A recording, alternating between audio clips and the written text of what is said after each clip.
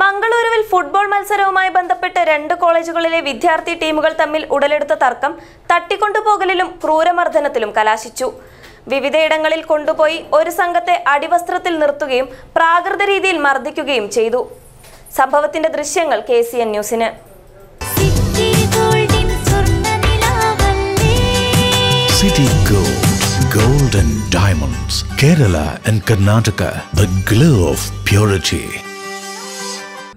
Mangaluru നഗരത്തിലെ പ്രശസ്തമായ രണ്ട് കോളേജുകളിലെ വിദ്യാർത്ഥികൾ തമ്മിലാണ് സംഘർഷമുണ്ടായത്.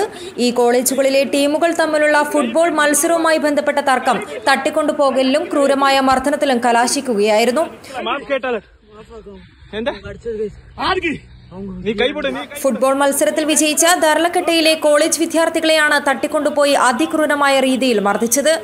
മംഗളൂരുവിന് സമീപം മഹാകാളി പടുപ്പ് ഉൾപ്പെടെയുള്ള വിവിധ സ്ഥലങ്ങളിൽ കൊണ്ടുപോയാണ് മർദ്ദനത്തിനിരയാക്കിയത് വിദ്യാർത്ഥികളെ അടിവസ്ത്രത്തിൽ നിർത്തുകയും ശരീരത്തിലുടനീളം ദയാരഹിതമായി മർദ്ദിക്കുകയും ഈ ദൃശ്യങ്ങൾ മൊബൈലിൽ പകർത്തുകയും ചെയ്തു. എന്തേ? ಮಾಪ್ಕೆ ಎಂದೆ ಮಾಪ್ಕೆ ಮಾಪ್ಕೆ ಕ್ಯಾಮರಾ ನೋಕಿ ಮಾಪ್ಕೆ ಬಿಡಿ ಕೈ ಬಿಡಿ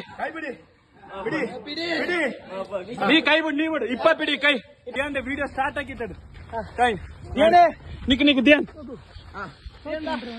ಕೊಡು ಕೈ ಬಿಡಿ ಕೊಡು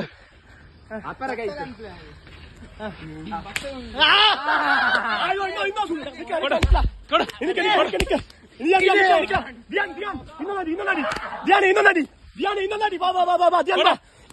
ಕೊಡು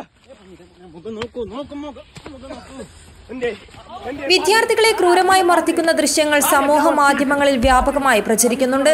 സംഭവവുമായി ബന്ധപ്പെട്ട് മംഗളൂരു സൗത്ത് പോലീസ് രണ്ടുപേരെ അറസ്റ്റ് ചെയ്തിട്ടുണ്ട്. വിദ്യാർത്ഥികൾ തമ്മിലുള്ള തർക്കം തട്ടിക്കൊണ്ടുപോയി മർദ്ദിക്കുന്നതുൾപ്പെടെയുള്ള സംഭവത്തിലേക്ക് കടന്നത് പോലീസ് ഗൗരവമായാണ് കാണുന്നത്. വിഷയത്തിൽ കൂടുതൽ അന്വേഷണം നടന്നുവരികയാണെന്ന് city police commissioner Anupam Agarwal പറഞ്ഞു. News bureau Kasaragod.